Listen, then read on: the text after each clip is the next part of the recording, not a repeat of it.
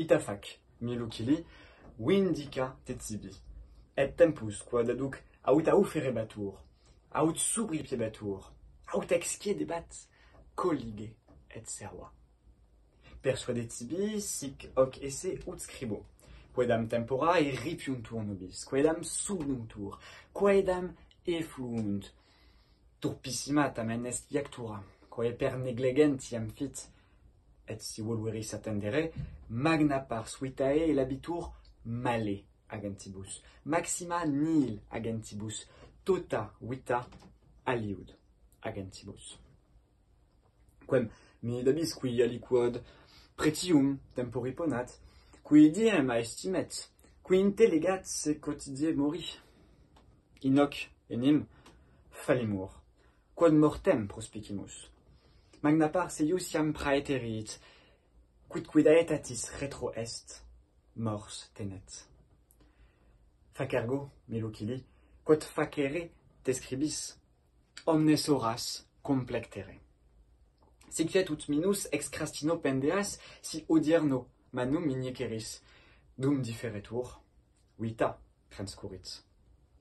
Omnia lucili aliena sunt, tempus tantum nostrum est, in uius rei unius qui sac lubricae possessionem natura nos misit ex qua expellit quicumque vult.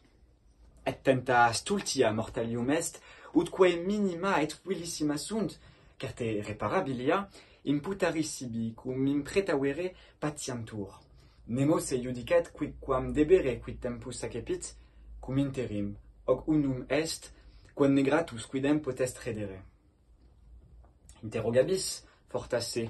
Quid ego faciam qui tibi ista praecipium fatebor ingenui quod apud luxuriosum sed dilegantem evenit ratio mi constat in pensae non possum dicere nil perdere sed quia perdere et quare et quaem dam modum dicam.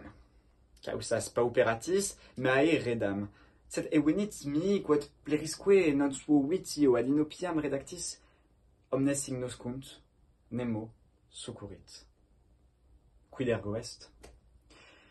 Non puto pauperem qui quantulum cumque superet sat est.